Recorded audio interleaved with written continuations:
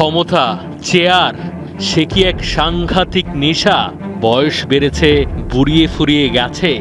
মাথাটা ঠিক আগের মতো কাজ করে না, পরিষ্কার। তবু হট সিটে বসা চাই চাই, যে কোনো মূল্যে। প্রয়োজনে লোকের গালমন্দ শুনে, সবার আত্মসম্মান আমাদের বহু পরিচিত চেহারার মতো বেহায়া ঘরনার হয় না। কার্লো আঞ্চেলত্তির মতো মানুষেরাও এই পৃথিবীতে আছেন, যারা বুঝেন কখন ছাড়তে হবে চেয়ার।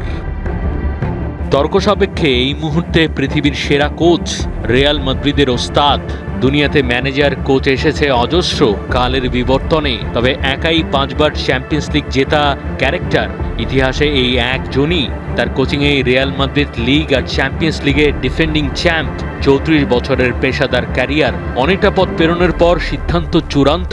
আসছে সিজন শেষে কোচিংয়ের হটসেট ছেড়ে যাবেন রিটায়ারমেন্টে। আঞ্চেলত্তি বলছেন যদি একটা জাতীয় দলের জন্য কাজের সুযোগ আসে, আমি জানি না কি করব। সত্যটা হলো ন্যাশনাল টিমের কোচিংয়ে আগ্রহী নই। আমি মনে করি রিয়াল মাদ্রিদই আমার শেষ ক্লাব এটা আমার শেষ মৌসুম।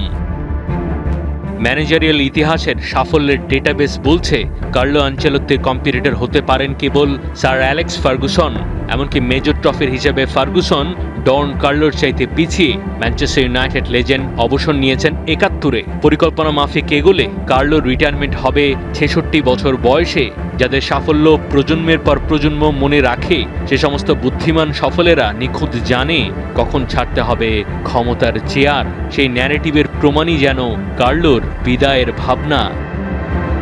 মাহদি হাসান, একাত্তর। Thank you.